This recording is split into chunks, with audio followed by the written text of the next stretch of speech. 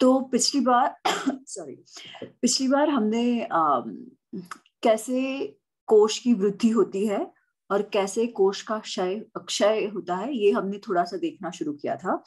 और आ, हम कौन से मेरे ख्याल से हम आठवें अध्याय में थे कि जो धन एम्बेजल हो चुका है कि कुछ कुछ झोल करके बुक्स में झोल करके किसी तरीके से आ, आ,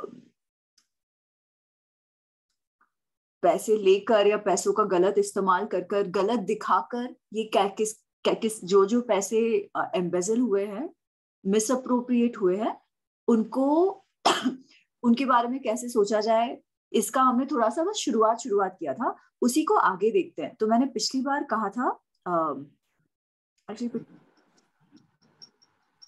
कहा था कि कैसे वर्ष कैसे देखा जाता है और वर्ष में कभी वेतन दिया जाता है वगैरह वगैरह। आई थिंक ये हमने बहुत कुछ दिया था। देखा था कि कर्मचारियों का क्या काम है, जो अकाउंटेंट्स हैं, उनका क्या काम है, उनको कब आना है, कैसे उनकी बुक्स को टैली करना है, कि आया क्या, गया क्या, जो बैलेंस बचा वो कैसा, क्या क्या, वो किस तरीके से टैली करना है, कैसे वो लोग जब एक साथ आते हैं, तब उस बारे में बात नहीं कर सकते जब तक उनके बुक्स क्लियर ना हो जाए वगैरह वगैरह। और उसमें अगर कुछ गलती हो तो कैसे दंड दिया जाता है? अगर भूल से गलती हो गई हो तो केवल वॉर्न करना है। अगर जानबूझकर गलती हो गई हो तो उसके बारे में आ, उनको दंड देना है वगैरह वगैरह। तो ये हमने बहुत कुछ किया था। एंड देन वी स्टार्टेड कि अच्छा जो पैसा जो फ्रॉड है वो किस किस तरीके से होते हैं?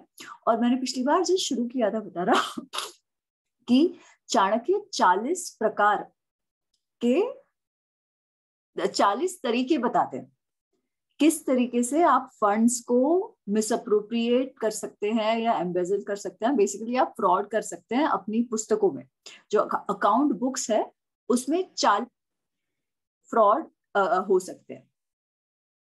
एक सेकेंड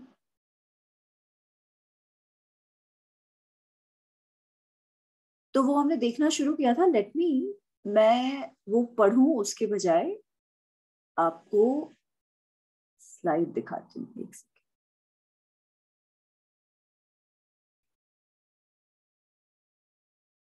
सेकेंड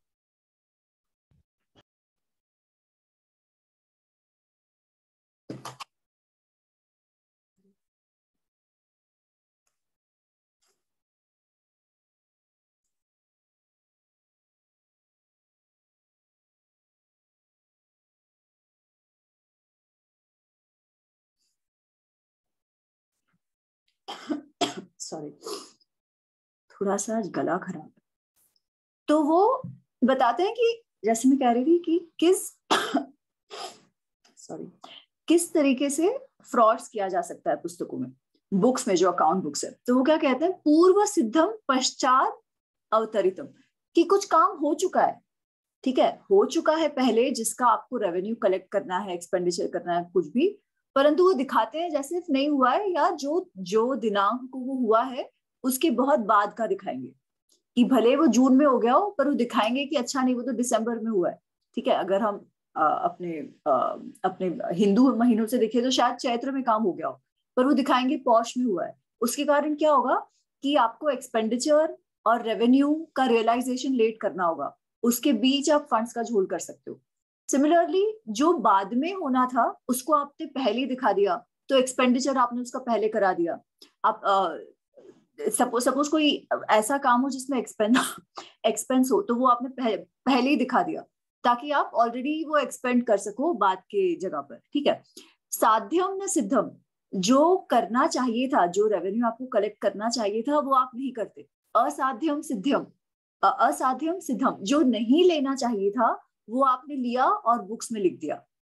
सिद्धिम असिद्धिम कृतम, जो हुआ है उसको नहीं हुआ दिखाया। जो नहीं हुआ है उसको हुआ हो दिखाया। अल्प सिद्धम बहुकृतम मिला बहुत है, या हुआ थोड़ा सा है, पर आप दिखाते बहुत हो। या हुआ बहुत है, आप दिखाते कम हो। अन्यत सिद्धम, अन्यत कृतम। किसी कोई और काम हुआ है, आप दिखाते कुछ और काम हो।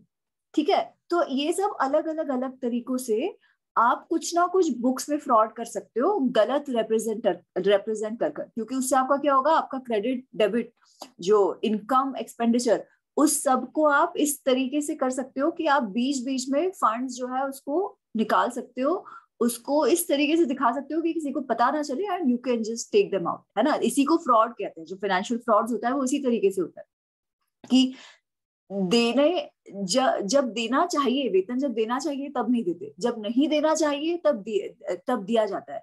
जब थोड़ा देना है वहाँ बहुत दिखाया जाता है। जहाँ बहुत दे देना है वहाँ थोड़ा दिखाया जाता है।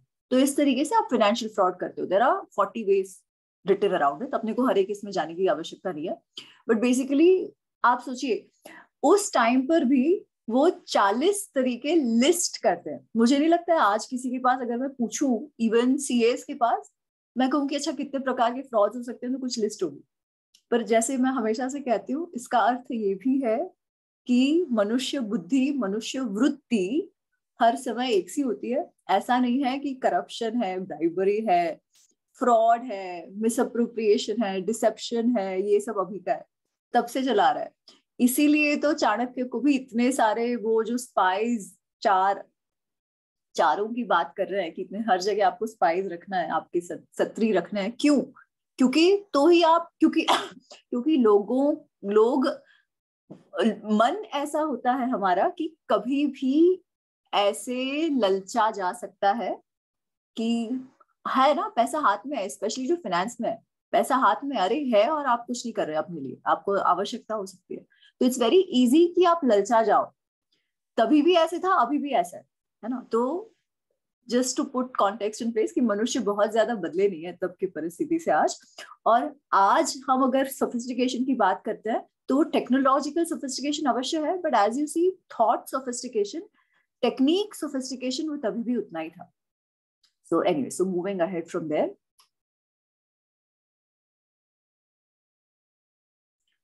तो मैं आपको बता देती हूँ कि कहाँ पर है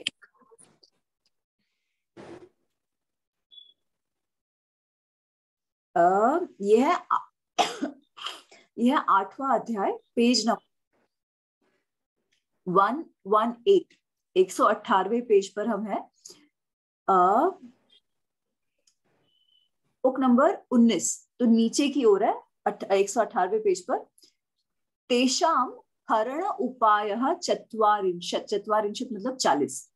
वो कहते हैं कि पैसे हरण, मिसअप्रोप्रिएशन करने के चालीस तरीके होते हैं।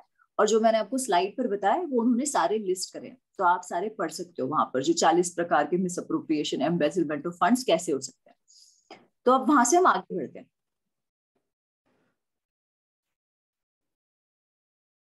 तो फिर वो आगे कह रहे हैं उपयुक्त निधायक, निबंधक, प्रतिग्राहक, दायक, दापक मंत्री वैयावृत्यकरान एकेकैशो अनुयन अनुयुजित जी?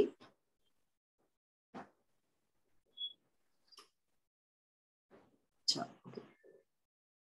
तो वो कह रहे हैं कि ऐसे ऑफ़िस ऑफिसर जिसपे इस किस्म के फ्रॉड का संशय आ गया हो आप पर, राजा को लग रहा हो कि अच्छा उसको या तो सूचना मिली हो या तो संशय आया है कि कुछ तो गड़बड़ चल रही है, कुछ फाइनेंशियल गड़बड़ यहाँ चल रही है। कोई अध्यक्ष जो है, वो शायद इसमें इन्वॉल्व हो सकता है फाइनेंशियल फ्रॉड में, जो कोषाध्यक्ष है या समाहर्ता है रेवेन्यू कलेक्टर है वगैरह। तो उसे क्या करना चाहिए? चाणक्य कहते हैं कि उस ऑफिसर के जो निधायक है, निबंधक है, जो वो वो मेन ऑफिसर है, उसके अंडर जो अकाउंट कीपिंग करते हैं, जो कलेक्शन करते हैं, जो देने का, वेतन देने का काम, जो भी एक्सपेंडिचर देने का काम करते हैं, उनके जो भी सबॉर्डिनेट ऑफिसर्स हैं, उनके जो भी सेवक गण होंगे उस बड़े अध्यक्ष के, उनको एक एक कर कर बुलाइए और पूछिए कि क्या चल रहा है। ठीक है? फिर वो कहते हैं, मिथ्यावादे च एशाम युक्त समोदंड और उनमें से कोई भी अच्छा आपने एक एक करके बुलाया है तो आपको अंदाज़ा आ जाएगा कि वो जो कह रहे हैं वो मैच हो रहा है कि नहीं मैच हो रहा है, ठीक है? अगर नहीं मैच हो रहा, तब तो आप जानते हो कि कुछ गड़बड़ है you can easily pick that तो once you once it is proven कि कुछ हुआ है, और ये जितने भी लोगों से पूछताछ पूछताछ हुई है, उसमें अगर मिथ्या किसी की बात गलत साबित हुई या किसी ने झूठ बोला, ये पता चलेगा राजा को तो उनको भी युक्त दंड, जितना दंड देना चाहिए, उतना दंड उनको मिलेगा। अभी इसके आगे मज़ा शुरू होता है। चाणक्य का तरीका कि आप कैसे मैनेज करो इसको, ये और मज़ा शुरू होता है। सो हियर यू गो प्रचारे च अवघोषयेत, अमुना प्रकृतेन ओपहताः, प्रज्ञापयन्ति प्रज्ञापयन्ति इति। तो वो कहते हैं कि जब ऐसा आपको संशय आ जाए कि ऐसे ऐसे कोई अध्यक्ष करप्शन कर रहा है या कुछ झोल कर रहा है तो आप क्या करो? पहले तो पूछ लो। फिर आपको लग रहा है कि हाँ हाँ ये it's close there is a chance that this might happen ये सच हो सकता है एक्चुअली कुछ झोल चल रहा है। तो आप आपकी राज्य में प्रचार करवा दो। Announce it officially announce it कि ये अमुक अमुक जो ऑफिसर है उस पे इस किस्म के करप्शन के या फ्रॉड की एलिगेशन लग रहे हैं।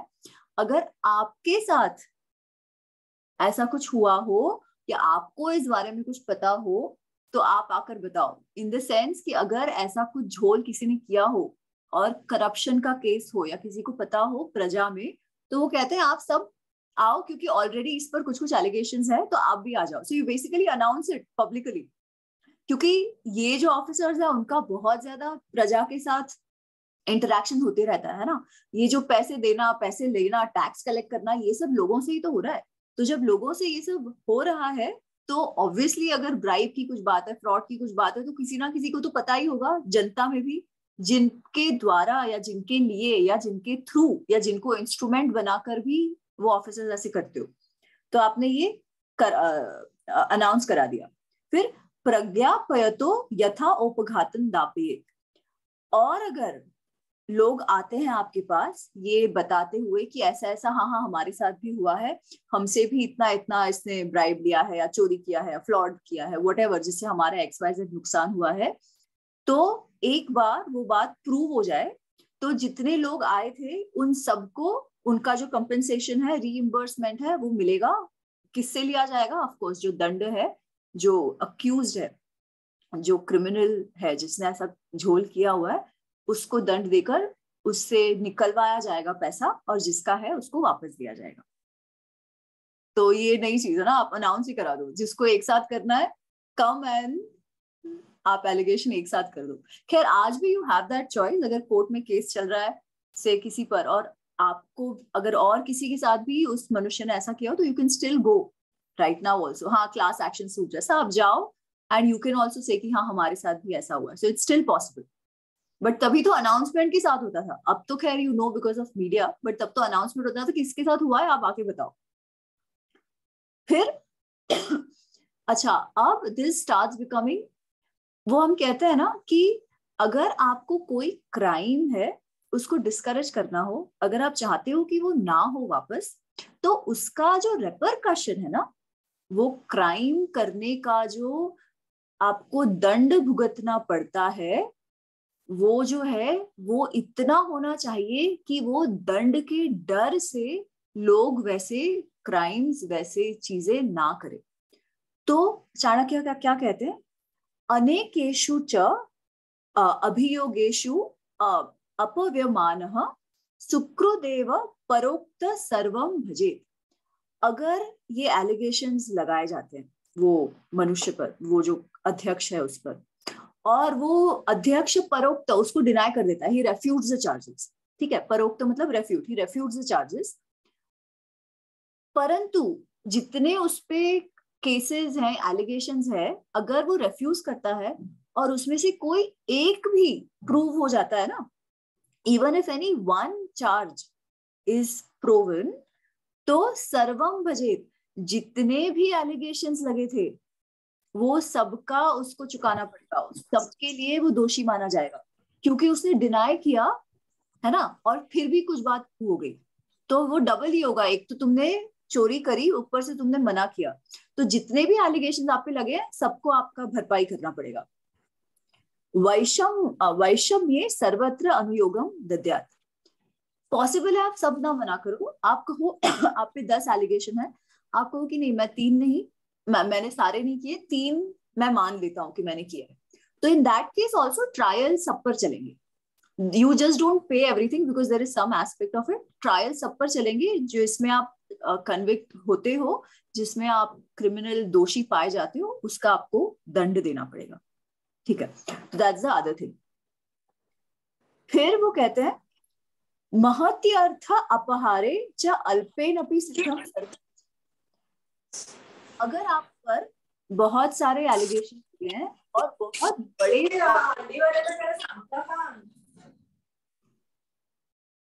आप पर बहुत बड़े फ्रॉड का एलिगेशन लगा है, ठीक है? बड़ी अमाउंट के फ्रॉड का एलिगेशन लगा है। उस एलिगेशन से अगर छोटा अमाउंट का भी प्रूव होता है, जो आपने पहले नकारा था, ठीक है? तो अगर उसमें छोटे अमाउंट का भी प्रूव होता है तो जितने टोटल अमाउंट का, जो बड़ी अमाउंट है, वो आपको सारा भरना पड़ेगा। You will have to reimburse everything with appropriate appropriate दंड। ठीक है? तो even that is the case so आपने उसका जो रिपरकशन है, उसका जो कॉस्ट ऑफ़ क्राइम इतना बढ़ा दिया है उस पर कि अध्यक्ष दस बार सोचेगा फ्रॉड करने से पहले कि अगर पकड़ा गया तो I have to be ready कि ये सब होने वाला है। ठीक है? कृत प्रतिघाता घात कृत प्रतिघात अस्थ सूचको निष्पन्नार्थ षष्टम अंश लभे सूचको, जो विसल ब्लोअर है, जो इंटीमेशन देते हैं, जो इन्फॉर्मेंट है, ठीक है? तो अगर किसी इन्फॉर्मेंट के द्वारा पता चला हो कि ये अध्यक्ष जो है, वो इस प्रकार का उसने फ्रॉड किया है, और अगर वो चार्ज प्रूव हो जाता है, निष्पन्नार्थ, अगर वो चार्ज प्रूव हो जाता है तो क्या होगा? वो जो इन्फॉर्मेंट है विसल ब्लोअर जो भी होगा, उसको जितना रिकवर होता है, उसका सिक्स भाग षष्टम अंश सिक्स भाग उसको एज ये मिल जाएगा कि भाई हाँ तुमने किया है तो शाबाशी के तौर पे ही गेट्स दैट मनी सिक्स भाग of whatever is recovered पर अगर वो इन्फॉर्मेंट जो है, द्वादशम अंश भृतक भृतक मतलब भृतक इज़ अ सेवक सेवक किसका? राज का, राज्य का सेवक। If he is a government official who is bringing this information अगर कोई बाहर वाला है तो उसको वन सिक्स अगर गवर्नमेंट ऑफिशियली है तो उसको भी मिलेगा बट उसको वन ट्वेल्थ भाग मिलेगा। Because he is already a part of the government the chances of him knowing are anyways higher तो उसको वन ट्वेल्थ भाग of whatever is recovered मिलेगा। अच्छा। फिर आगे वो कहते हैं, प्रभुता प्रभुता अभियोगात अल्पम निष्पत्त निष्पन्न निष्पन्न से अंश लभे। कि सपोज़ बहुत बड़ा एलिगेशन लगाओ, उसमें से छोटा ही प्रूव क्यों ना हुआ हो? ठीक है, अगर बड़ा एलिगेशन हो, पर छोटा प्रूव हुआ है उसमें से, बाकी सब में वो बरी हो जाते हैं। जो अध्यक्ष है, वो बाकी सब में से बरी हो जाते हैं, छोटे वाले में इट इज़ प्रूवन तो उस केस में जितना प्रूव हुआ है, उसका भाग, उसका राइट अमाउंट ऑफ़ प्रपोर्शन जो सूचक है, उसको दिया जाता है। Now here comes the other part what if जैसे हम कहते हैं ना, कई बार लोग क्या करते हैं, आज भी देखिए, कई बार लॉज को मिसयूज किया जाता है। किस तरीके से मिसयूज किया जाता है? जानबूझकर किसी और बात का बदला लेने के लिए लोगों को ऐसे केसेस या फॉल्स एलिगेशन में आप अटका के रख देते हो। तो उस केस में क्या होगा? तभी भी ऐसा हो सकता है है ना? पर that also would shouldn't be allowed है ना? किसी ने कुछ किया ना हो तो केवल किसी और के फितुर के लिए किसी और के बदले के लिए किसी और की खुन्नस के लिए आप किसी को क्रिमिनल बनाकर ये आप ट्रायल में फंसा रहे हो ये भी नहीं चलना चाहिए। तो वो कहते हैं अनिष्पन्ने शारीरम हैरण्यम व दंड लभे अगर किसी सूचक ने सूचना दी है और वो चार्ज प्रूव नहीं हुआ तो क्या होगा? जिसने सूचना दी है, उसको या तो कुछ शारीर दंड मतलब कॉर्पोरल पनिशमेंट कुछ फटके लगेंगे विप से ऐसे कुछ लगेंगे, या फिर उसको भी पैसे भरने पड़ेंगे। मॉनिटरी कुछ तो कंपेंसेशन ऐसे सूचक को देना पड़ेगा if the charge is not proven इसलिए अभी तो कैसा है, कोई कुछ भी किसी पे एलिगेशन कर दे दे रन अवे स्कॉट फ्री है ना? ऐसा नहीं ऐसा नहीं हो सकता। तो आप अगर किसी की इंफॉर्मेशन भी दे रहे हो so you better come prepare पहली बात and you better have the right reason to do it बिना वजह किसी को फंसाने के लिए लॉ का आप मिसयूज नहीं कर सकते। वो क्लैरिटी थी। अच्छा जैसे मैं हमेशा कहती हूँ आज ये सब होता है उसका मतलब तभी होता होगा ना ये मानसिक मनुष्य की बुद्धि ऐसी है कि हम लूप होल्स ढूंढते रहते हैं। तो how do keep covering the loopholes that is what Chanakya is doing ठीक है? तो वो कह रहे हैं कि जो सूचक है, उसको भी ही ही गेट अ फ्री वे कि किसी पे भी आप एलिगेशन कर दो और कट लो। नहीं। If it is not proven तो उसको भी दंड अवश्य भरना पड़ेगा। न च अनुग्रह बेसिकली उसको कोई अनुग्रह नहीं मिलेगा। कि अच्छा उसने इन्फॉर्मेशन दी, पर कोई बात नहीं, बेचारे को जाने दो। नहीं, ऐसे नहीं। अगर वो नहीं प्रूव हुआ है तो उसको दंड मिलेगा। The more important one comes here निष्पत्त निक्षिप निक्षिपेत वाद आत्मनम वा अपवाहये। अभियुक्तेषु, अभियुक्तः उपजायत उपजापातु सूचको वधमापनुयात। सूचक ने एलिगेशन कर दिया, ठीक है? कि ये अध्यक्ष जो है, इसने कुछ फ्रॉड किया है, इसने कुछ करप्शन किया है। सूचक ने एलिगेशन कर दिया। केस शुरू हो गया। केस शुरू होने के बाद जो अध्यक्ष है और सूचक है, उनके बीच कुछ सेटिंग हो जाती है। और वो सेटिंग होने के कारण अपना जो इन्फॉर्मेंट है, जैसे अभी तो कितनी बार होता है ना कि विटनेस टर्न्स हॉस्टाइल ऐसे कह देते हैं कि विटनेसेस पहले बोलते हैं कि हाँ हाँ हमको मालूम है and then they turn hostile तभी भी हो सकता है, या तो पैसे दे दिए, या तो डरा दिया, या कुछ भी एनीथिंग इज़ पॉसिबल तो चाणक्य से अगर ऐसा होता है कि अगर इन दोनों के बीच सेटिंग हो जाती है, जिसके कारण केस शुरू हो जाए, वाद शुरू हो जाए, और फिर अपना ये सूचक कट ले, या तो वो आर्ग्यू ही ना करे, ठीक है? जो उसे विटनेस प्रोवाइड करना था, जो साक्ष्य प्रोवाइड करना था, या तो वो करे ही नहीं, या तो अपने आप को केस से अलग कर ले, आत्मनम, आत्मन अपवाह्य अपने आप को उससे दूर कर ले तो क्या होगा? पहले केस में तो अगर प्रूव नहीं हुआ तो उसको केवल दंड भरना पड़ेगा। इस केस में वधम आपनुयात ऐसे सूचक को आपको मार देना है। उसको मृत्यु दंड की परि, उसको तो मृत्यु दंड देना है। क्योंकि इसमें क्या हुआ, आप जानबूझ के या तो किसी को ब्लैकमेल करने के लिए भी ऐसे कर सकते हो ना। इट इज़ बेसिकली दैट आपने, आपका फ़ायदा हो गया, या तो आप डर गए। अच्छा दूसरी बात है कि राजा का कर्तव्य है कि अगर कोई सूचक है तो उसको ऐसे अध्यक्षों से बचाए। ठीक है?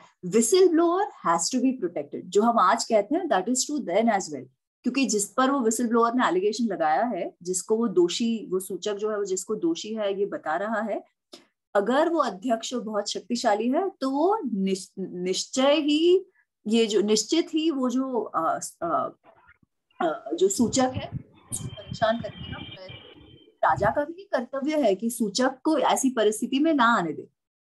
परंतु वैसी परिस्थिति ना हो और इनके बीच सेटिंग हो गई हो, क्योंकि कई बार एलिगेशन होते ही इसलिए कि अपन तू मुझे पैसा निकलवा दे। Allegation happen for blackmailing so that the informant get something अगर ऐसा हुआ हो और उसके बाद ये या तो विटनेस हॉस्टाइल हो गया, या तो कट लिया तो उसको मृत्यु दंड मिलेगा।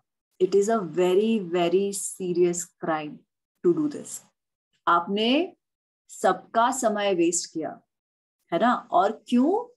अपनी सेटिंग करवाने के लिए। You use the state machinery for your own game that too इस तरीके से in a very unjustified manner तो उसको तो मृत्यु दंड ही मिलेगा। इसलिए ऐसा तो कोई कर ही नहीं सकता। आप किसी माल इंटेंशन के साथ, गलत इंटेंशन के साथ इस तरीके के केसेस में आप मत उलझिए। मेरे ख्याल से अगर ऐसा सीरियस कोई रेपरकशन आज के दिन में हो ना तो कितने सारे केसेस अपने आप कम हो जाए। आज भी उस बात की आवश्यकता है। हर एक केस में बीट कई कई रेप केसेस ऐसे होते हैं, है ना? बस गुस्सा आ गया रिवेंज लेना है, शादी करने से मना कर दिया, ये कर दिया। डाउरी केसेस कितने सारे ऐसे होते हैं। तो all the good laws which were suppose to benefit people which were supposed to benefit society the uh, the less शक्तिशाली वो मिसयूज हो जाते हैं अच्छे लोगों को परेशान करने के लिए जस्ट क्योंकि वो लॉ है।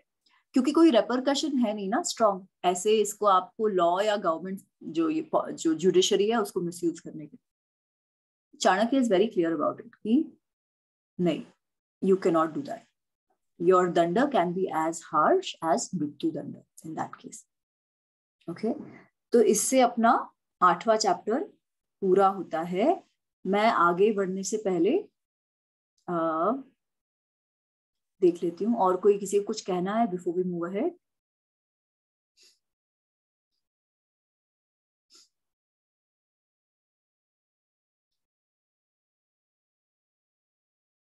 Poonam ji कह रही है only remember the supreme court lawyer? अच्छा आप प्रशांत भूषण की बात कर रही है ना हु वाज फाउंड गिल्टी और उसको एक रुपया देना पड़ा।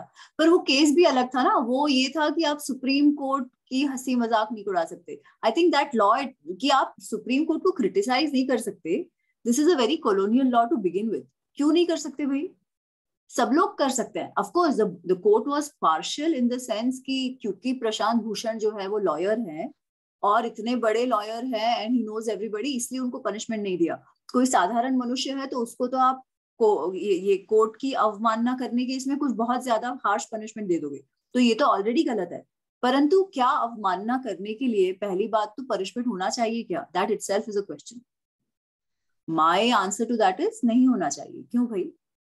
Why is judiciary beyond question it can't be it absolutely can't be एक तो it is not even elected right? It has to be accountable to the people. So, anyways. Any other thoughts? किसी को कुछ कह रहा है before we move ahead? Amiti, I just wanted to share this with you. जो प्रशांत भूषण जी की आपने बात की the point is not just that one issue the point is एक बड़ा पुराना जोक हुआ करता था कि बंदे ने किसी ने कोर्ट में केस आया कि इसने मुझे थप्पड़ मारा है so the judge said अच्छा तुमने थप्पड़ मारा है तो मैं तुम्हें पचास रुपया फाइन करता हूँ। So that man to the बंदा जिसने केस किया था उसको एक और थप्पड़ मार के कहता है देख मेरे पास सौ का छुट्टा नहीं था इसलिए तू सौ रुपया ले ले। So what happens is why we need such punishments, I, in my opinion, to deter people from doing such mockery of the institution. बात ये नहीं कि ज़िंदगी का बंदा है कि नहीं। people should not be criticized or commented or judged, but the system should not be abused and mocked. Absolutely, system should that not is, be abused. That was the issue there. Absolutely, I fully agree. नहीं system should not be abuse वो तो आप जो case कह रही है ना मैं सिर्फ उसके लिए कह रही हूँ that was a case of अवमानना of the supreme court I don't think that अवमानना itself is the right reason be it for Prashant Bhushan और एनीबडी मैं सिर्फ सिर्फ उस बारे में कह रही हूँ ठीक है but is the court abuse is the abuse happening absolutely it's happening are we doing much about it no so i agree with you on the abuse part of it not in this specific case per se but on the larger point of abuse and what chanakya does is that he actually provide he actually makes provisions to ensure such abuses don't happen or आज तो it is full everybody goes to the supreme court कोई नीचे जाता ही नहीं उससे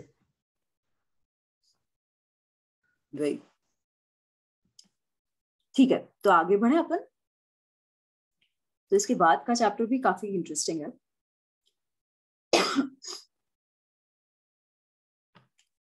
सो so, नौवा अध्याय page number 122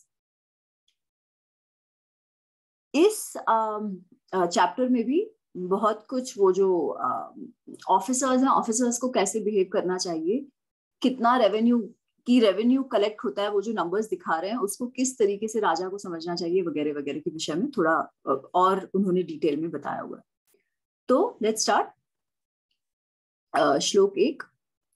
अमात्य संपदोपेता सर्वाध्यक्षा शक्तितः कर्मसु नियोज्या।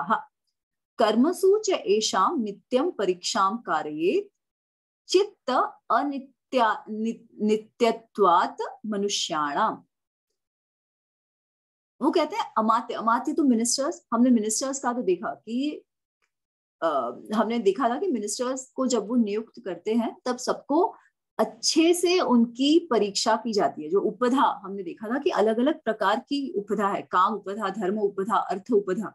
कि किस तरीके से आप उनको अलग अलग लेवल्स पे टेस्ट करो और फिर ही उनको और फिर डिपेंडिंग ऑन कौन से टेस्ट में वो कहाँ से क्लियर होते हैं, कैसी उनकी वृत्ति है, उनको अलग अलग कार्यों में आप नियुक्त करिए।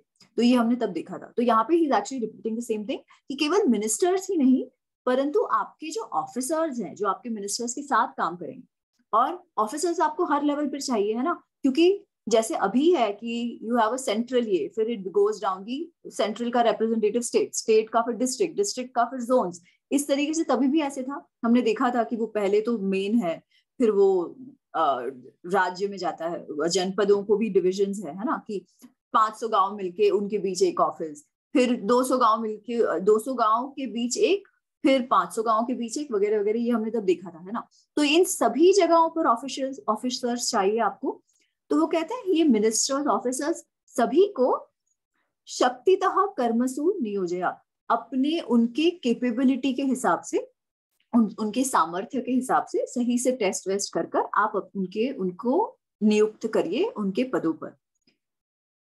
पर वो कहते हैं कि एक बार टेस्ट हो गया इसलिए खत्म ऐसा नहीं।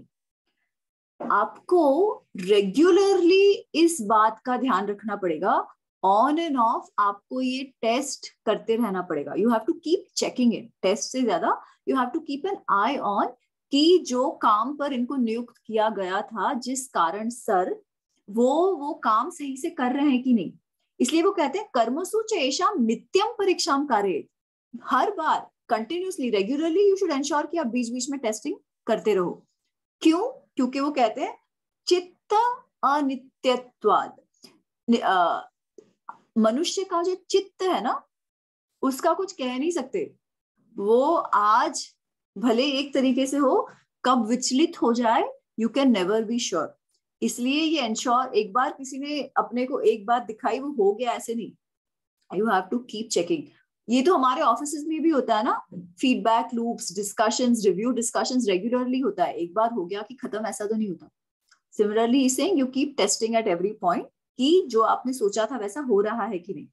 फिर आगे वो कहते हैं, अश्व सधर्माणु सधर्माणो ही मनुष्या नियुक्ता कर्मसु विकुर्वते। वो कहते हैं कि मनुष्य जो है ना, वो अश्व के जैसे है। एक बार उनको काम में डाल दिया, नियुक्त करते समय they might behave in certain way interview के समय कैंडिडेट एक तरीके से है। ऑफ़िस ज्वाइन कर ली, उसके बाद यू डोंट नो जो आपने इंटरव्यू के समय देखा था और एक्चुअल काम के समय बहुत अलग भी हो सकता है बिकॉज़ इंटरव्यू के समय everybody puts their best foot forward है ना? एक्चुअली क्या होता है नहीं मालूम. इसलिए वो कहते हैं कि राजा को क्या करना चाहिए? एक तो नित्य ही परीक्षा करती रहनी चाहिए। उसके अलावा तस्मात कर्तारम कारणम देशम कालम कार्यम प्रक्षेपम उदयम चेशु च विद्यात। इसलिए एक राजा को हर एक अध्यक्ष का भी जो काम का मेन हाईलाइट हाईलाइट है या ओवरव्यू है, वो होना चाहिए कि कौन कर रहा है, कैसे कर रहा है, कहाँ कर रहा है, कितने समय में हो रहा है, किस कॉन्टेक्स्ट में हो रहा है, कितना उसका एक्सपेंडिचर होना चाहिए कितना एक्सपेक्टेड इनकम उससे होना चाहिए वगैरह वगैरह इसका ब्रीफ ओवरव्यू उसका सिंहावलोकन वो सिंहा सॉरी सिंहावलोकन इज़ एनालिसिस रॉन्ग शब्द यूसेज बेसिकली उसकी जो गरुड़ जो बर्ड्स आई व्यू जिसे कहते हैं ना कि गरुड़ दृष्टि की ओवरऑल आपको पता होना चाहिए कि क्या चल रहा है कि आ, ऐसा नहीं होना चाहिए कि आपने डेलीगेट कर दिया और खत्म। अब मेरे को कुछ नहीं मालूम ऐसा नहीं। डेलीगेशन इज़ इंपॉर्टेंट क्योंकि डेलीगेशन के बिना राजा अकेले तो सब कर नहीं सकते। परंतु डेलीगेशन में काम भी तभी ठीक से होगा जब आपको क्या काम चल रहा है उस बारे में पूर्ण जानकारी हो। और आप ये बात देखिए, हम तो राजा के कार्य की बात कर रहे हैं। आपने देखा होगा कि इवन घरों में हमारे जो हेल्पर्स होते हैं, है ना, जो घर की साफ़ सफ़ाई करने भी आते हैं, अगर जो घर के लोग हैं वो ध्यान देना ही बंद कर दे तो आपको पता है कि वो पलंग के नीचे से वगैरह झाड़ू नहीं निकलेगा। जो कचरा निकलेगा वो भी पलंग के नीचे डाल दिया जाएगा। ये बहुत बार होता है। इसीलिए जो घर वाले होते हैं, उनको उस पर भी उतना ध्यान देना पड़ता है। नहीं तो कई बार ऐसा होता है कि वो काम सही ढंग से ना हो। अगर उस लेवल पर भी ये हो सकता है तो imagine at a senior level at more serious roles भी ये हो ही सकता है। मनुष्य तो सेम है। वो काम हो या वो काम हो। चित्त तो अनित्य सबका है। सारे मनुष्य की वृत्ति तभी भी वो थी आज भी यही है। बूढ़े की भी वही है, बच्चे की भी वही है, हर प्रकृति, हर समाज का कोई भी हो, गोरा हो, काला हो सर्टेन थिंग्स डोंट चेंज ये जो मानसिक बातें है ना, मानसिक प्रवृत्तियाँ, वृत्तियाँ है, वो बदलती नहीं है।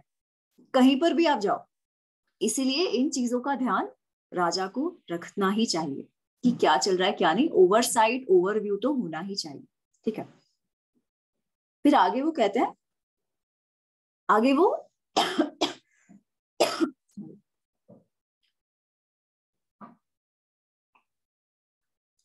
कि जो कर्मचारी है कर्मचारी है, उन्होंने कैसे बिहेव करना चाहिए? तो वो कहते हैं,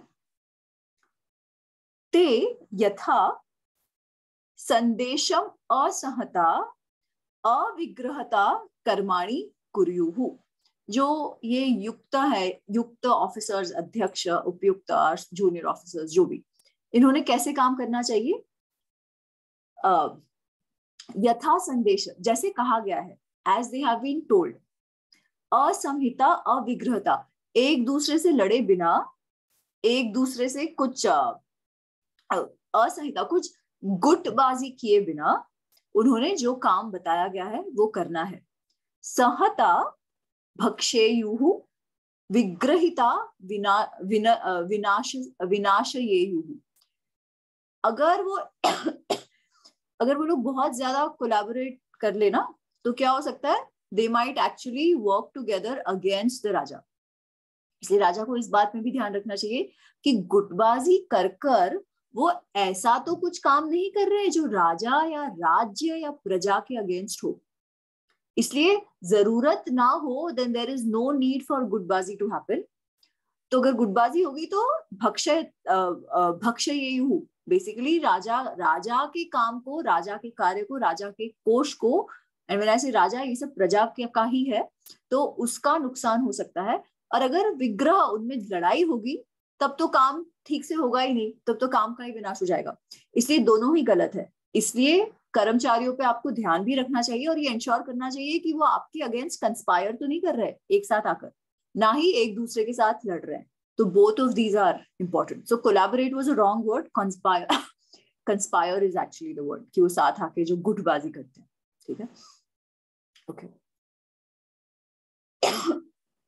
फिर आगे वो कहते हैं कि न च अनिवेद्य भर्तु किंचित आरंभम कुर, कुर, कुर्युहु अन्यत्र आपद प्रतिकारेभ्य जनरली जनरली जो जूनियर ऑफिसर्स हैं उन्होंने जब तक कुछ बताए बिना अपने सीनियर्स को बताए बिना कोई काम शुरू कर दिया, ऐसे नहीं करना चाहिए।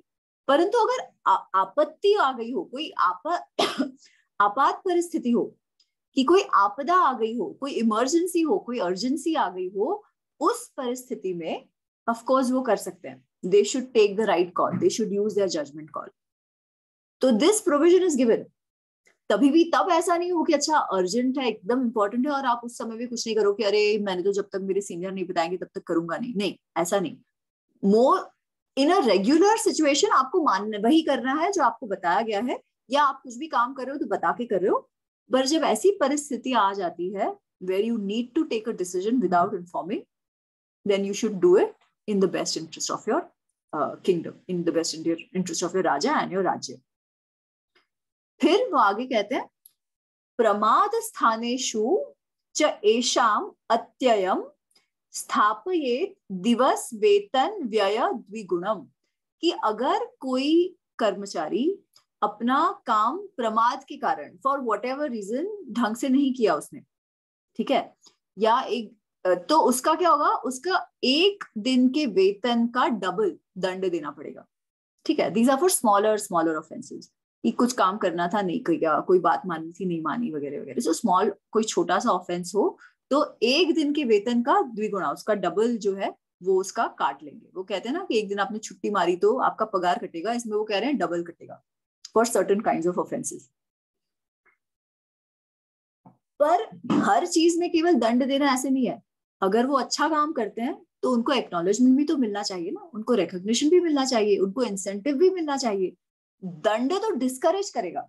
It is a negative incentive positive incentive होना भी उतना ही आवश्यक है। In fact positive incentive work better तो इसलिए वो ये भी कहते हैं, यह च यथा आदिष्टम अर्थम सविशेषम वा करोति स्थान मानो लभेत। तो ऐसे लोग जो है, जो बहुत अच्छे से काम कर रहे हैं राजा और राज्य के आ, के का जो का राजा और राज्य का का की समृद्धि हो प्रोस्पेरिटी आए इस सब चीज़ों के को ध्यान में रखकर उनका जो काम है वो अच्छे से कर रहे हो तो उनको क्या उनको इंसेंटिव भी मिलना चाहिए पॉजिटिव इंसेंटिव तो उनको क्या कह रहे हैं वो स्थान मानव च लभेत। उनको आप एक्नॉलेज करो उनको आप प्रमोट करो और प्रमोशन के साथ साथ आपको जो उनका एडिशन आएगा वो भी दो। So both acknowledgement and punishment have to work अगर अच्छा काम कर रहे हो तो उसको आपको एक्नॉलेज भी करना है। तो ये भी क्लियर है। Again not very different from how it is today जैसा तब था, आज भी वैसा ही है। या आज हम जो सोचते हैं, ये कोई बहुत नई थिंकिंग नहीं है। दिस इज़ फ़र्स्ट प्रिंसिपल्स जो तब से चली आ रही फिर हाँ अब यहाँ से इंटरेस्टिंग है। अल्प आयातिश्च चेत महान व्ययो भक्षयति। ऐसे अध्यक्ष जो है, जिनकी अल्प आयाति, जो आय है, जो इनकम वो लोग जनरेट करते हैं, वो छोटी सी हो, परंतु महाव्यय, परंतु एक्सपेंडिचर उनका बहुत ज़्यादा है। इनकम छोटी है एक्सपेंडिचर बहुत ज़्यादा है। तो वो क्या करते हैं? वो राजा के कोष को खाते हैं clearly they cause loss to the exchequer they cause loss to the treasury है ना? क्लियर इनकम कम है एक्सपेंडिचर ज़्यादा है। तो uh, तो आप तो राजा को उस चीज़ का आपको ध्यान रखना चाहिए। बहुत क्लियर ये तो नंबर्स ही क्लियर है कि हाँ कुछ गड़बड़ है and you have to take care of it विपर्य यथा आयाति व्ययश्च न भक्षयति आचार्य। तो कोष को लॉस होगा, ये तो बहुत क्लियर है, जब इनकम कम और एक्सपेंडिचर ज़्यादा है। कोष को या just one second somebody's at एक सेकंड में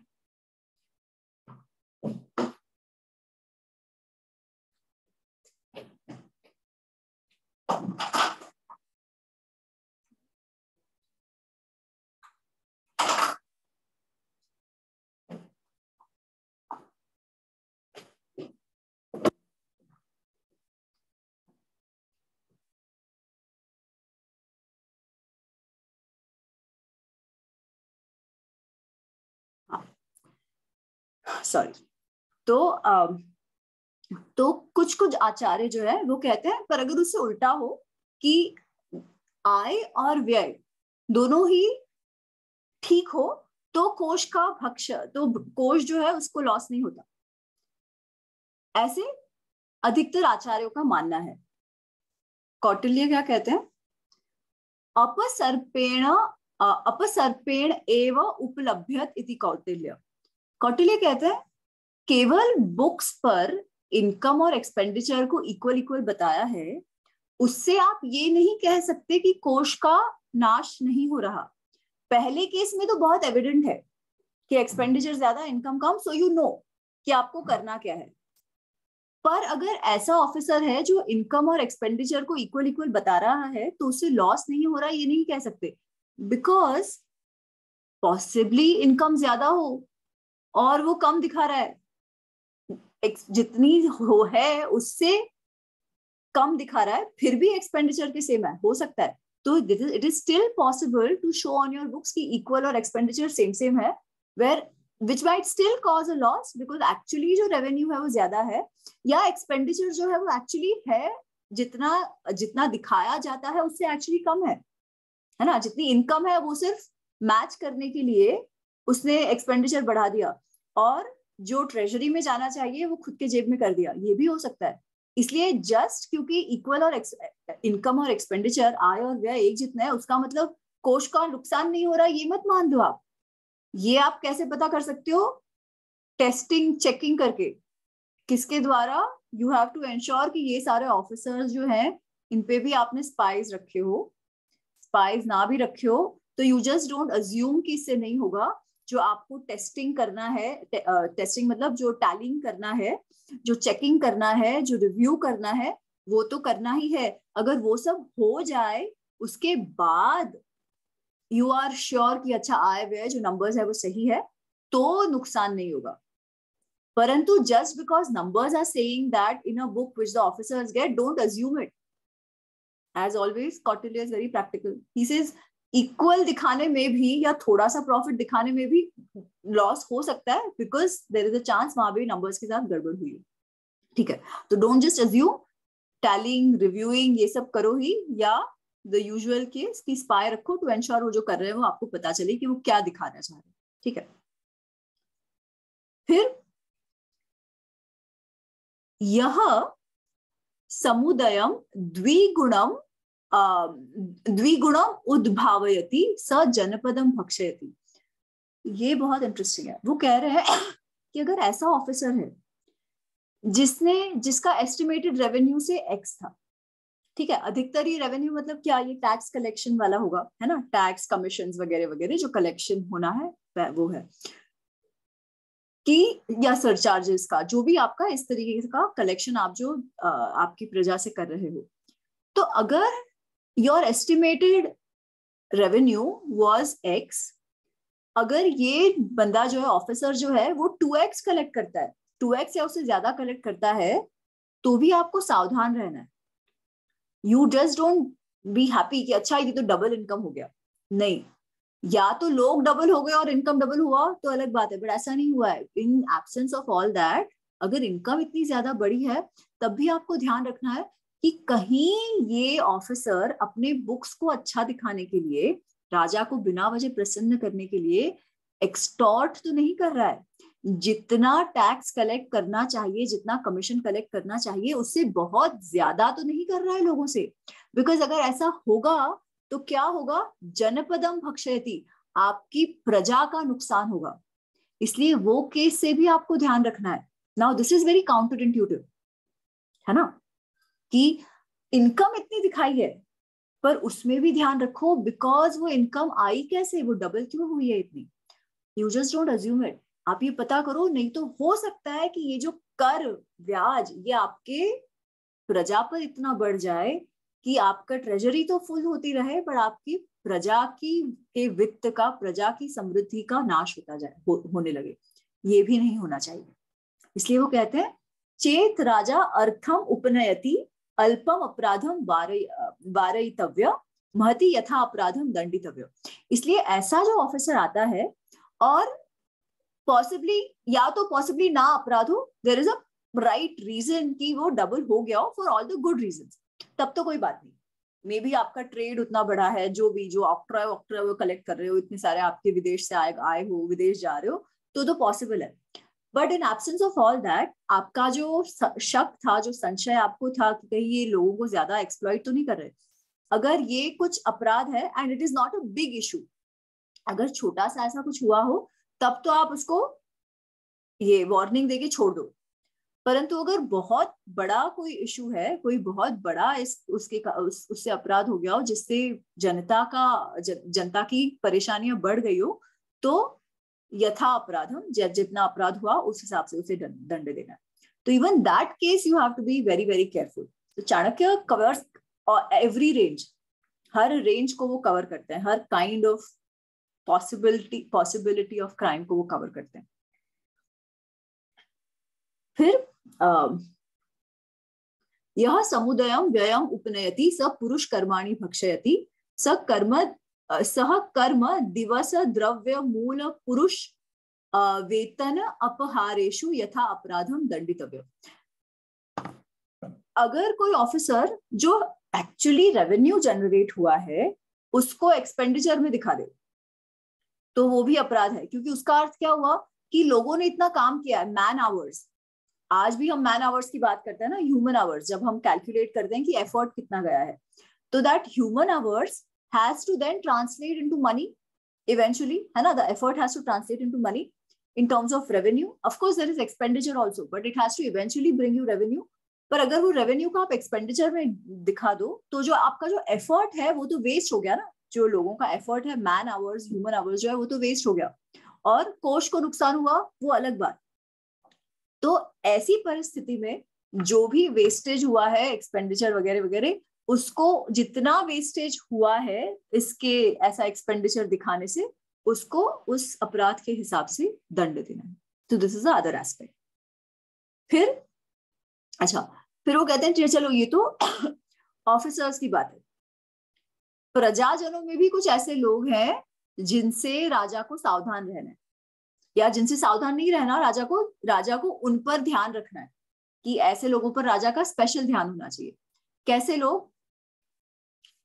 मूल हर तादात्विक कदरियाश्च प्रतिषेधये। ऐसे लोगों को भाई आप ध्यान रखो, ऐसे इंश्योर करो कि आपके ऐसे लोग ना हो। कैसे तीन लोग? मूल हर तादात्विक कदरिया।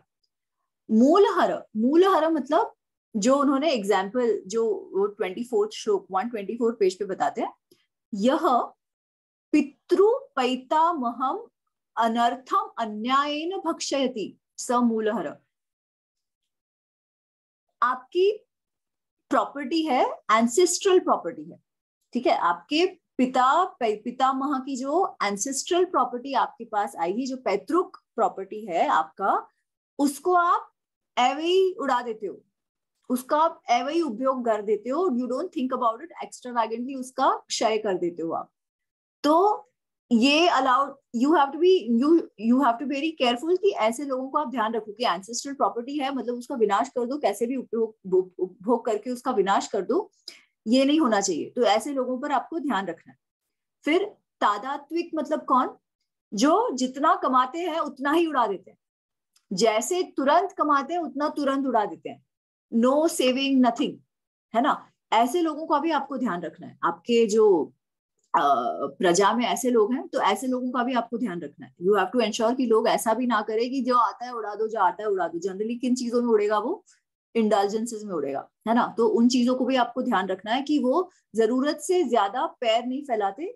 उसका अर्थ, आपकी जो इनकम है, उससे आपका खर्चा कमी होना चाहिए। अगर आपकी इनकम और एक्सपेंडिचर या तो एकदम सेम है या बहुत ज़्यादा है तो भी that is an issue and the राजा, वैसे देखा जाए तो इट्स अ वेरी वो बिग ब्रदर इज़ वॉचिंग जैसा है if you see a state right क्योंकि आज के परिप्रेक्ष्य में हम देखेंगे, हम हम बोलेंगे कि अरे राजा को क्या है? हु अगर आज हमको गवर्नमेंट बोले कि अरे तुम्हारी एंसेस्ट्रल प्रॉपर्टी है, वो आप ऐसे उड़ा नहीं सकते। अरे हम बोलेंगे, आप कौन होते हो यार बोलने वाले? मेरी मर्ज़ी, मेरी प्रॉपर्टी मैं चाहूँ जैसे उड़ाऊ, है ना? या मेरे को इतनी इनकम आ रही है, मैं इतनी इनकम उड़ाऊ, उसमें स्टेट का क्या से होना चाहिए? ठीक है? अच्छा पर कॉटिलियन स्टेट में वो से है स्टेट का, ठीक है? तो कॉटिलियन स्टेट जो है ना it's a very very regulated state ये तो शायद अब तक आप सबको समझ आ ही गया होगा कि हाँ there are provisions made even for your indulgences, गणिकाओं की prostitution is legal मदिरा पान इज़ लीगल ये सब हम आगे देखेंगे, ठीक है? ये सब है। परंतु it is a very very regulated state ये बात भी है। So just putting things into context कि आज और तब की परिस्थिति में अलग है। कौटिल्य का जो स्टेट है वो चाइना से ज़्यादा मिलता है। Where the state oversees everything including आप अपनी प्रॉपर्टी और खर्चा कैसे करते हो उस पर भी स्टेट का ध्यान है। गुड और bad is not a concern is not a topic of discussion ऐसा है। So yeah so china is closer to a caucasian state in that sense um, anyways. तीसरी बात, तीसरे जो थे, वो है कदर्य। कदर्य मतलब कौन? कदर्य बेसिकली कंजूस। कदरिया का अर्थ है कंजूस। तो उसका वो क्या कहते हैं? यो भृत्या, भृत्य आत्म पीड़ाभ्याम उपचिनोति अर्थ सकदर्य। अपने आप को, अपने लोगों को परेशानी में डालकर, पीड़ा में डालकर भी पैसा बचाते हैं। खर्चा नहीं करते, ज़रूरत है तो भी नहीं करते। पैसा बचाते हैं अपने आप को फ़िज़िकल पीड़ा में डाल के इनकन्वीनियंस में डाल के पैसा बचाते हैं। ऐसे लोगों को भी आपको ध्यान रखना है। This should also not be done ठीक है? तो आप कंजूस भी नहीं हो सकते। आपके स्पेशली आपके परिवार वालों को आप परेशानी में डाल के पैसा डाल रहे हो तो ये भी सही नहीं है, ठीक है? तो ऐसा भी नहीं होना चाहिए। तो ही से ऐसे लोगों का तो जिनके पास, पहले तो उनके पास तो प्रॉपर्टी बची नहीं है ना, क्योंकि वो तो वेस्ट कर देते हैं। पर वो कहते हैं, ऐसे जो कंजूस लोग हैं, जो इस तरीके से एसेट बिल्ड करते हैं, उनको क्या करना चाहिए? अगर उनका बहुत बड़ा परिवार है, जो उन पर डिपेंडेंट हो, तब तो कोई नहीं, तब तो आप उनको वॉर्न कर दो you don't confiscate anything from them let it be परंतु अगर ऐसे कंजूस का कोई फैमिली वैमिली ना हो, और वो अकेला ऐसे ऐसे बिना वजह खर्चा किए, बिना एसिड बढ़ाते जा रहा हो तो उसकी वो जो एसिड है ना, उसको कॉन्फिस्केट कर लो आप। तो ये ऑल्सो चाणक्य से। ठीक है? कि अपने आप को परेशानी कुछ खर्चा किए बिना केवल बचाते जा रहे हो, बचाते जा रहे हो, बचाते जा रहे हो, ये भी ठीक नहीं है। अच्छा अब ये बात का ना एक स्ट्रेटेजिक इम्प्लीकेशन है, जो वो आगे बताते हैं। क्योंकि हमको लगे अरे, कंजूस है तो इतनी क्या बात है है ना? Why should why should the state care पर पहली बात तो दिस वृत्ति मे नॉट नेसेसरीली दिस वृत्ति might have something deeper behind it ठीक है? तो वो आगे कहते हैं कि स्पेशली अगर कोई गवर्नमेंट ऑफिशियल है, वो इस तरीके से बिहेव कर रहा है, ठीक है? कि कमाता है हाँ Abhaji is right economic growth तो नहीं होती, ठीक है? इकोनॉमिक ग्रोथ तो नहीं होती, परंतु एकाध दो प्रजाजन अगर कंजूस हो, कुछ प्रजाजन तो इससे इतना कुछ ज़्यादा इम्पैक्ट भी नहीं होगा। ठीक है इंडिविजुअल लेवल पर।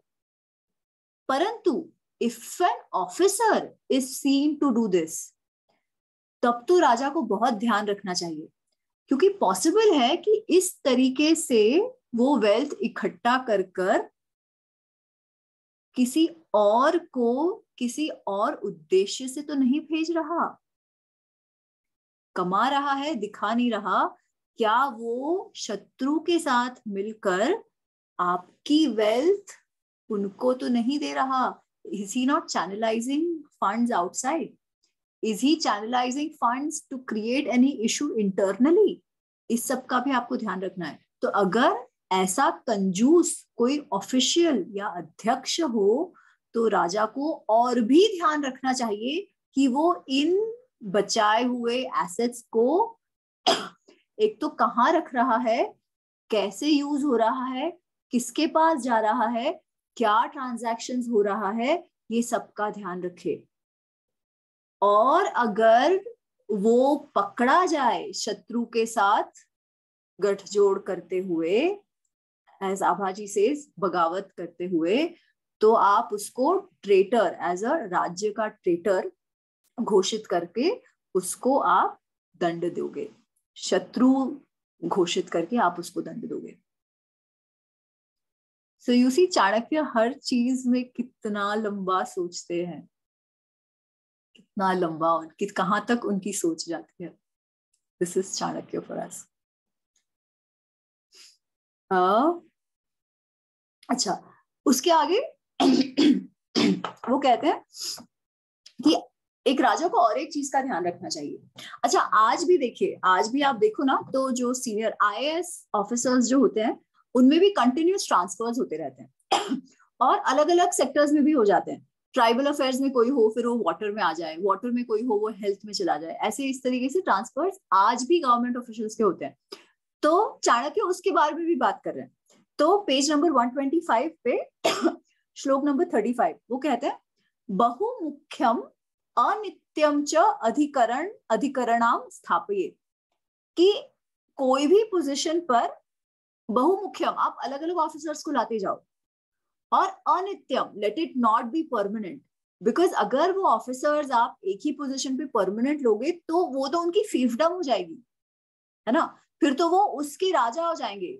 इन, इन त, पूरे तरीके से उनका उस बात पे कंट्रोल हो जाएगा। और आपको वहाँ क्या चल रहा है वो पता भी नहीं चलेगा। वो लोग अंदर क्या झोल कर रहे हैं? बिकॉज़ ही कैन एंश्योर ना कि जो पूरा ऊपर से नीचे तक का जो पूरा वैल्यू चेन है, वो अपने कब्जे में कर ले। इसलिए आज जो हम ट्रांसफ़र पोस्टिंग्स देखते हैं कि आज भी ये है, वो तभी भी the same thought is then कि आप अनित्यम, बहुमुख्यम, इस तरीके से गवर्नमेंट ऑफिशियल्स को नियुक्त करो। ताकि कोई नया आए तो इंटरनली कुछ झोलझाल हुआ हो, वो रफा दफ़ा हो, वो बाहर निकल पाए, और कोई इतना ज़्यादा शक्तिशाली ना हो जाए कि राजा को फिर पता ही ना चले कि उस फ़ंक्शन में चल क्या रहा है। ठीक है? तो इसका प्रोविज़न भी उस समय चाणक्य जी ने करके रखा है। अच्छा we are on time but ये थोड़ा सा है तो मैं पढ़ लेती हूँ। ये uh, मेरे ख्याल से पिछली बार किसी ने इस विषय में बात करी थी एंड आई सेड ये आगे आएगा। आई थिंक पूनम जी आपने ही कहा था इस बारे में। तो anyways we'll read this shloka number thirty six. यथा ही न यथा ही न आस्वादयितुं न शक्यम जिह्वा तलस्थ मधु वा विषम वा। अर्थ तथा ही अर्थचरेण राज्ञ, स्वल्पो अपि न आस्वाद आस्वाद, आस्वादयितुं न शक्य। जीवहा जीवहा तल जीवहा तल मतलब जीभ के ऊपर, ठीक है?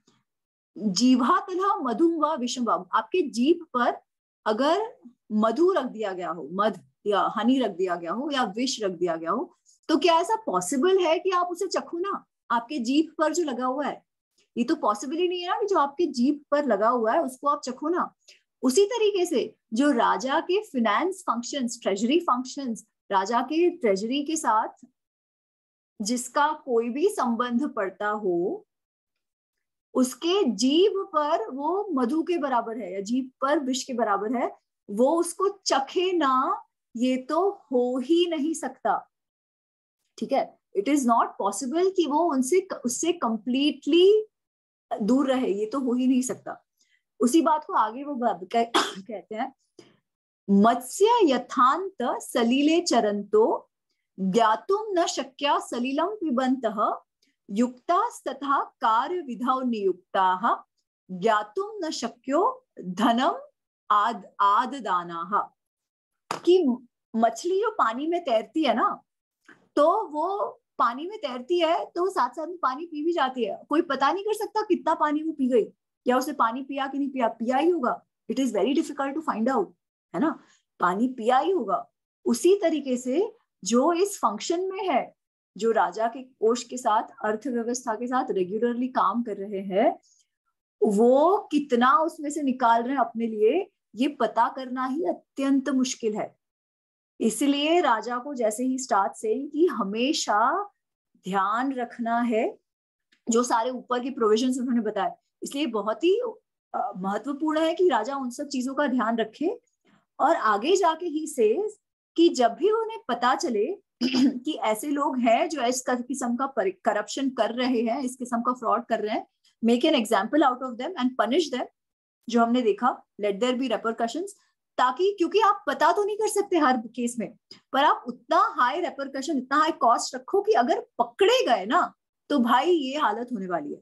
तो at least you try and discourage साथ साथ में ही से जब आपको ये पता चले कि कोई अध्यक्ष जो है वो अपना मन लगाकर काम कर रहा है, बिना ऐसे किसी पचड़े में पढ़कर एकदम शुद्ध मन से काम कर रहा है तो उसको भी आपको उतना ही रिकॉग्निशन देना है, उसको आपको एक्नॉलेज करना है, ताकि पॉजिटिव इंसेंटिव भी मिले। जो हमने तभी देखा था, छोटे ऑफिसर्स के लिए, बड़े ऑफिसर्स के लिए the same thing remains so the last shloka he says न भक्षयंती ते ये ये तू ये तू अर्थात अर्थात न अन्याय तो वर्धयंती तो अर्थात न्याय तो वर्धयंती च नित्य अधिकारा कार्यास्ते राज्ञ प्रिय हिते रथ।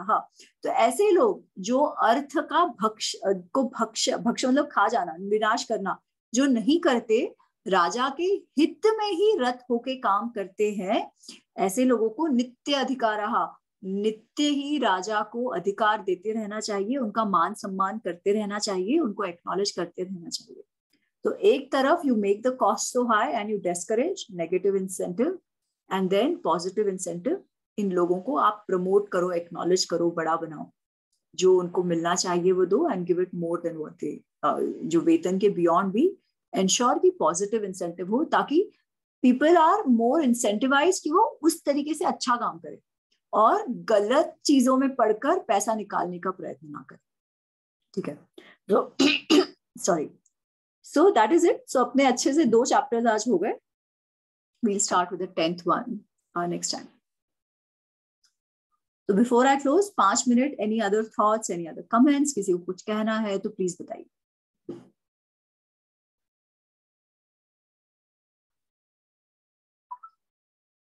एनीथिंग नहीं?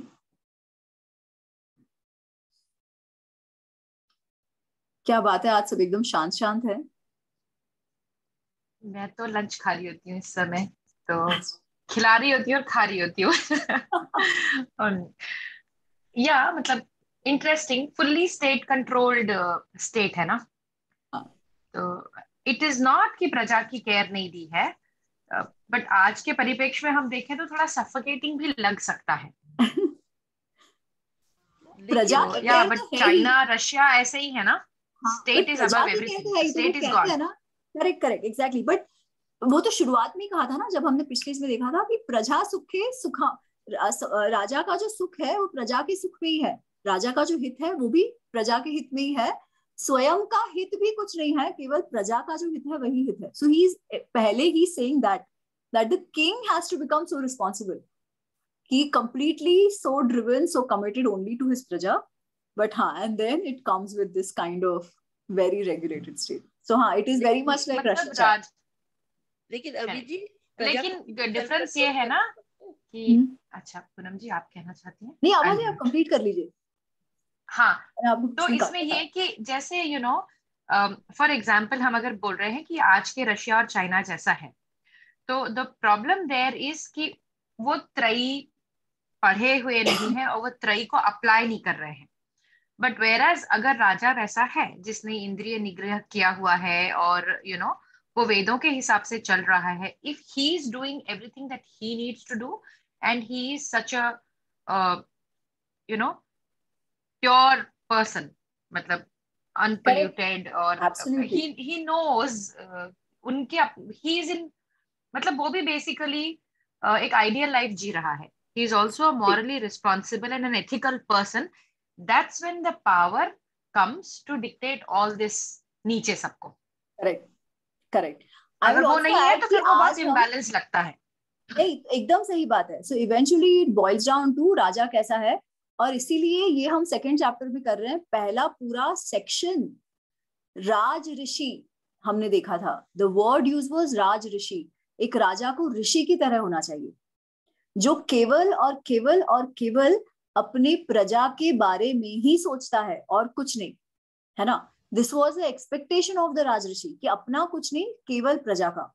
वो कैसे आता है? कंप्लीट इंद्रिय निग्रह, विनय वगैरह वगैरह। So the whole first chapter was on that उसके बाद then what are how should he work has come so bang on one point I would like to say is Russia का तो मैं नहीं जानती, पर चाइना का जितना बाहर दिखता है या हम सोचते हैं ना if you ask the Chinese to be very honest they are happy with what they get they have progress as a country कहा कुछ नहीं था उनके पास। नाइनटीज से उनका जो इकोनॉमिक रिफॉर्म शुरू हुआ, उसके पहले कुछ नहीं था, है ना?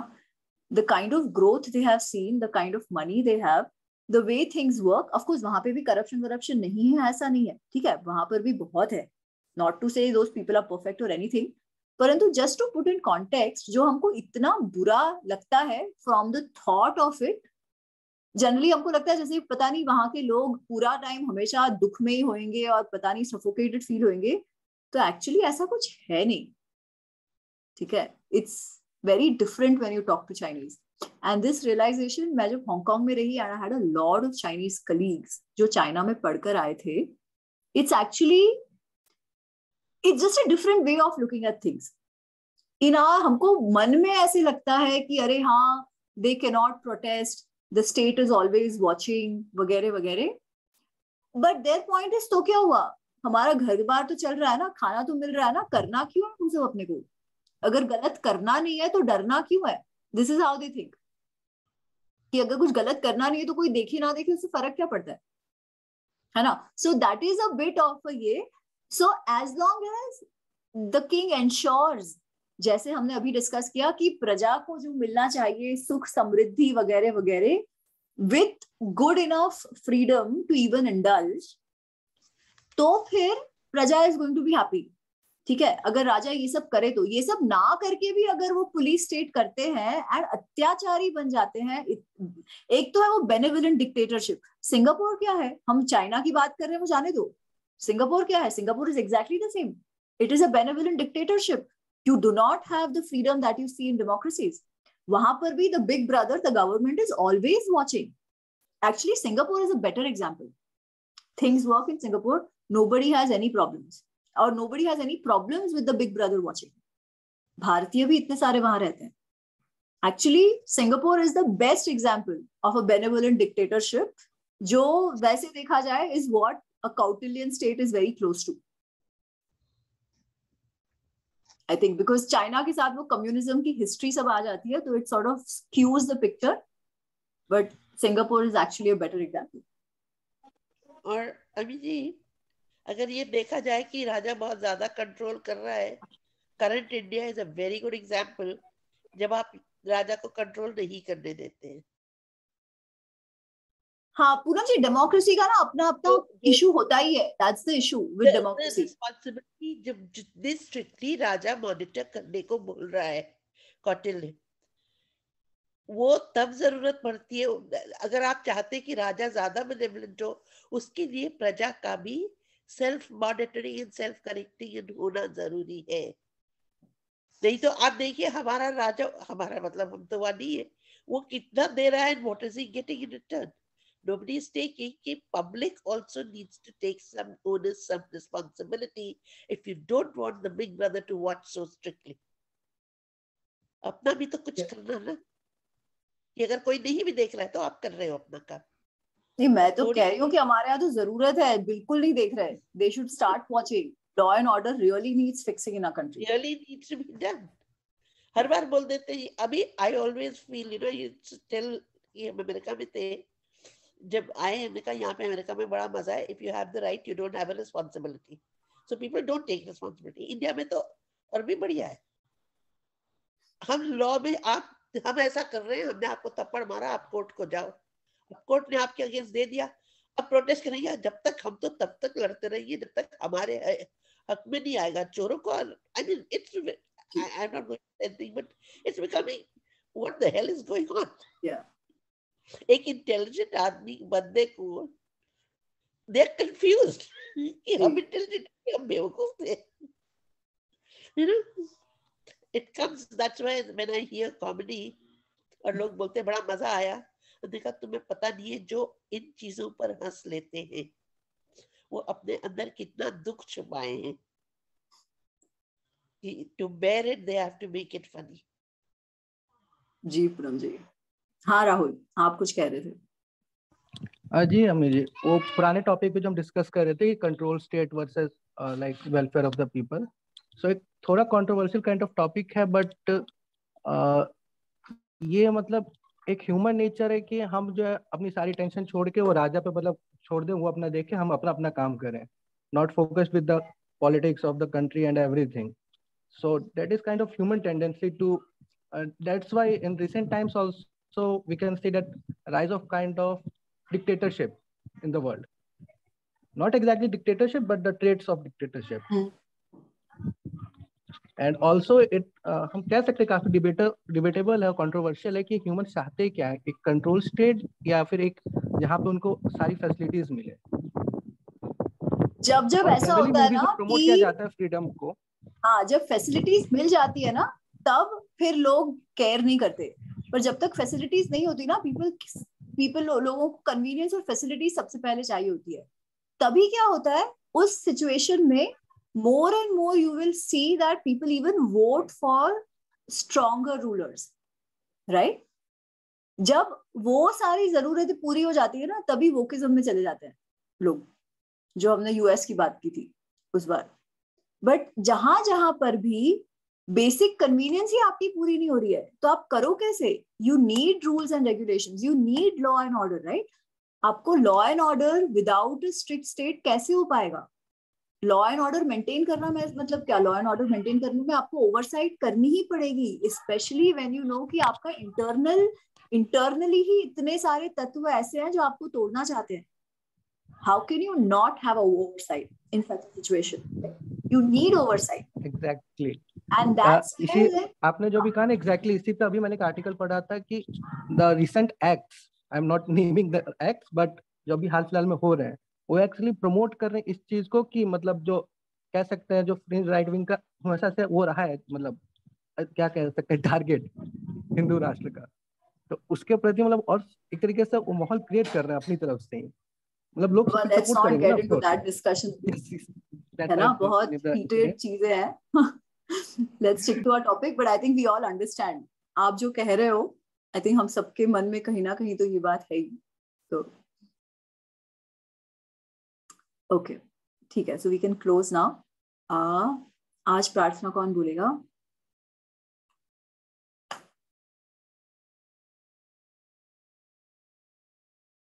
हम बोल दें।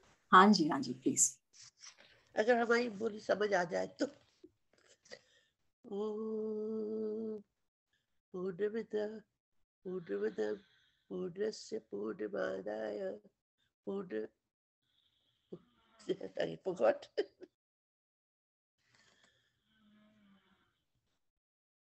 पूर्णमिदा पूर्णमिदं, पूर्णस्य पूर्णमुदच्यते। पूर्णस्य पूर्णमादाय ॐ हरि नमः। शांति शांति तीन ओंकार के चैंट करेंगे। Deep inhale and chant Om as you exhale Om.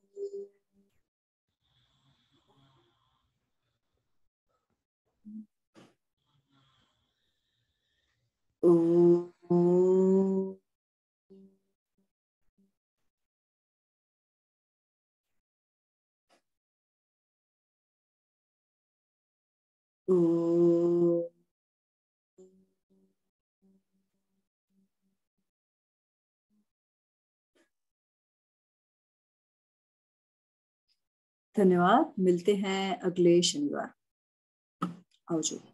धन्यवाद Amit Thank you. See you all next week.